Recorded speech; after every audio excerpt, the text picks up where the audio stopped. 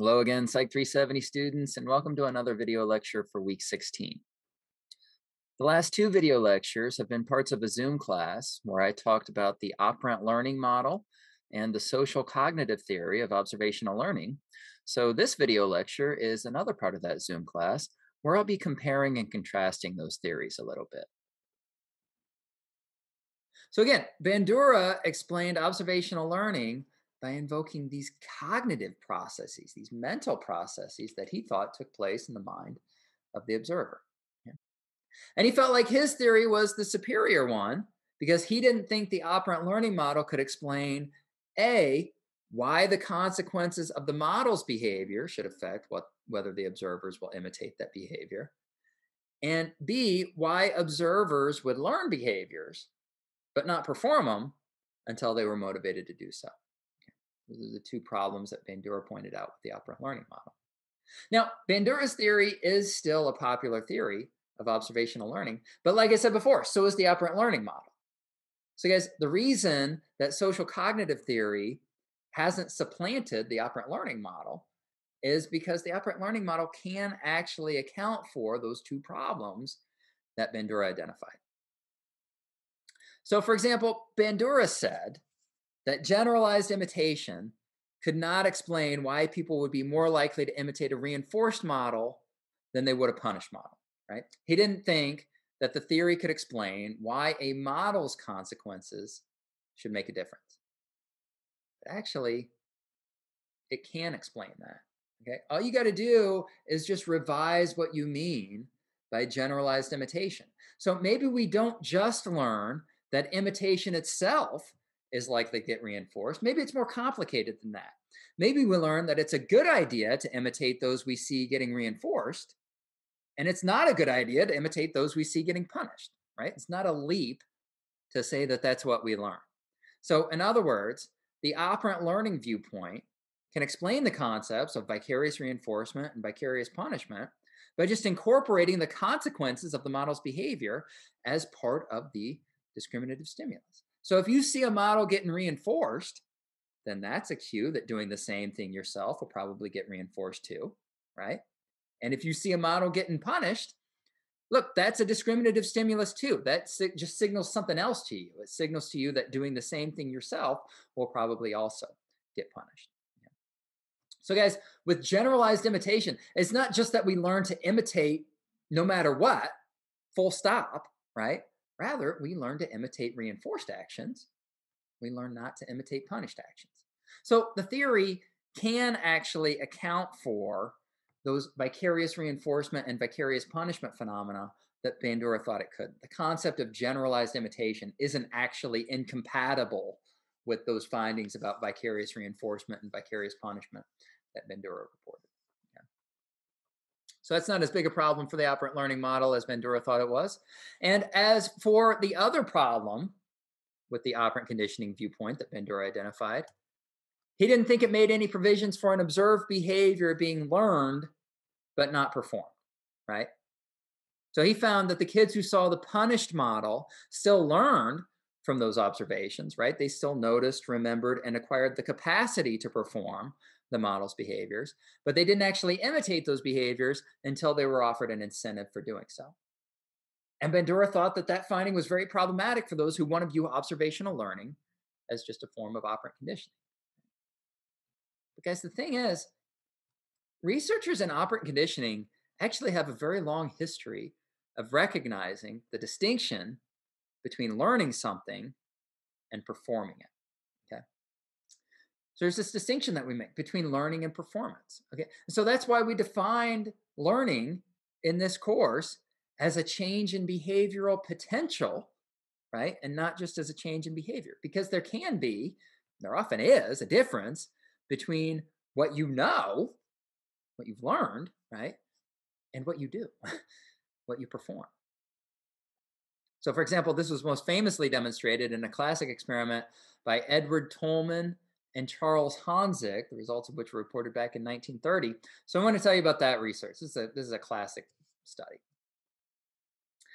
Now, the experiment involved a fairly complex maze, like this one, and three groups of rats.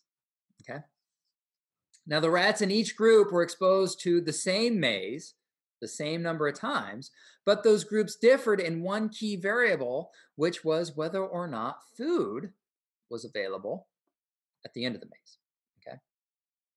Now, for the rats in this first group, it always was. Those rats always got reinforced with food whenever they made it to the end of the maze. For the rats in this third group, it never was. They never got reinforced with food when they made it to the end of the maze. But the interesting group is this middle group, group two. So for them, food was absent from the maze for the first 10 days of the experiment. Right? And then, starting on the 11th day, it was added to the maze. Okay. So that was the independent variable in this experiment, right? They manipulated the availability of food in the maze across these three groups. Right? And the dependent variable was errors. So what they measured was the number of wrong turns that the rats made as they navigated the maze. So that's how the study was set up. Now let's look at the results. As you can see in this graph, for the first 10 days of the experiment, it was the rats in that first group. It was the always rewarded rats who showed the biggest improvement in their performance. Okay, so they went from an average of nine or 10 errors on day one down to about four on day 10.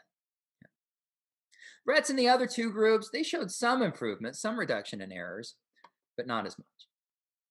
However, look at what happened after day 11. Look at what happened after food was added to the maze for the rats in that second group.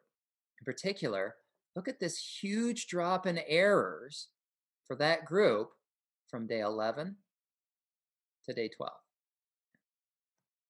So it was like as soon as they thought there might be some food waiting for them at the end of that maze, those rats started getting through the maze just as well, just as accurately as the rats that had been getting rewarded the whole time.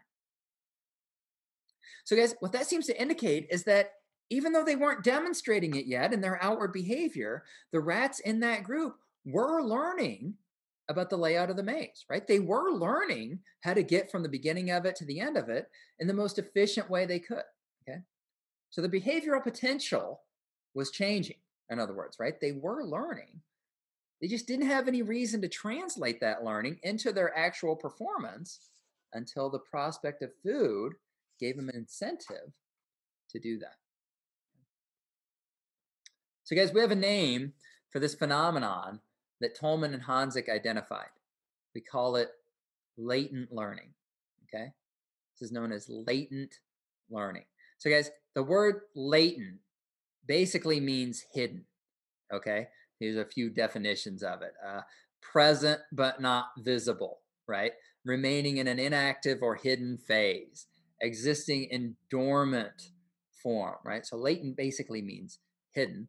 And so, guys, those rats in the Tolman and Honzik study, these these rats in the second group here, um, again, they were learning about the maze, right? Their behavioral potential was changing?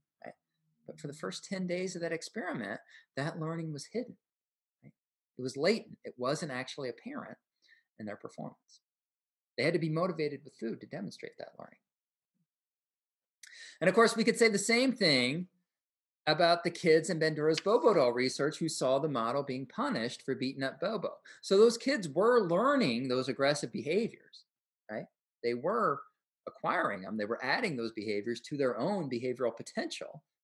But that learning remained hidden, it remained latent until Bandura gave the kids a reason to show him what they had learned by offering an incentive, like the stickers, the juice. So, guys, latent learning, it's an accepted phenomenon in operant conditioning. Okay. And so proponents of the operant learning model of observational learning, they would just say that Bandura's results are just another example of it. These results are just another example of latent learning. Okay. So those kids, the kids who saw the model being punished, they didn't need to get reinforced in order to learn from what they saw, right? But they did need the prospect of reinforcers. They did need that incentive for them to actually perform what they had learned. And again, operant conditioning theorists have long recognized this distinction between learning and performance. So the fact that Bandura's kids demonstrated latent learning, the fact that they showed a difference between what they had learned and what they actually did, again, it's not really as big a problem for the operant learning model as Bandura wanted to claim it was. So, guys, the point is both social cognitive theory and the operant learning model, they can account for the results that Bandura observed in his Bobo doll research. They just do it in different ways. Okay.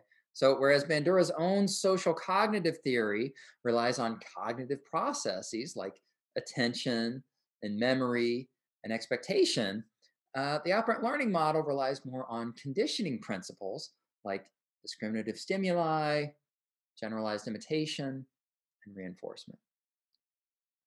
But like I said, they're both still very popular theories of observational learning. And you know, which one you're probably going to prefer probably just depends on whether you consider yourself more of a behaviorist or more of a cognitivist, right?